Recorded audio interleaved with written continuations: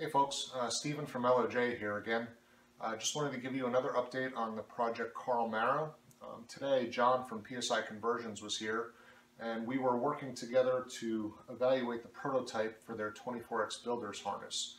Uh, this is a new product they plan to release this spring and uh, I spoke to it a little bit in the first intro video to this blog, but essentially um, it's a package of different pigtails to put together your own harness and configure it however you want. So essentially you'll get the connectors for whatever sensor you need to connect plus 15 feet of wire and you can plug in all your sensors and then route the wire where you want. So um, on the Carlmaro we used the prototype here. Uh, John was here for about three hours and we got the amount of work that you see here done. So the whole harness is roughed in.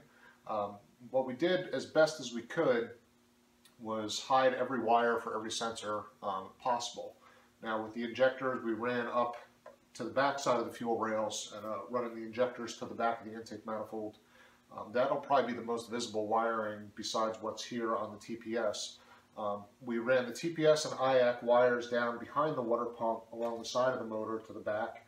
Obviously the coils are relocated down low here. That's also running along the side to the back.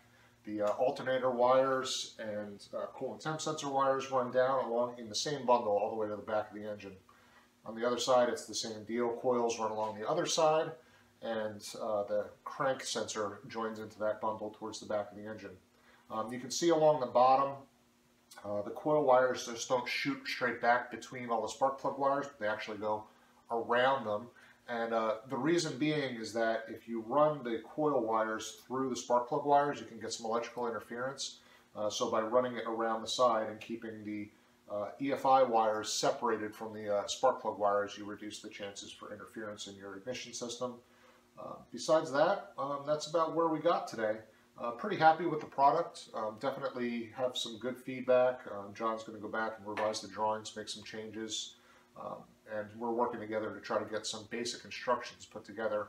Uh, again, this is a product that's for more of the um, experienced builder that knows how to uh, wire a car already, but this takes a lot of the work out rather than having to purchase every connector and wire individually, crimp them and all. It's already, half the work's done.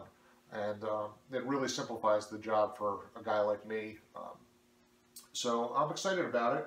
And uh, like I said, there's uh, obviously a lot more work to do here.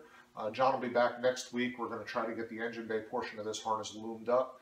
And then we're going to run it into the car, figure out where we want to mount the PCM, start crimping terminals there. Uh, so I think we'll probably have a few more updates on this harness uh, in the coming weeks and more updates on the car just in general. So thanks. Uh, take care. All right.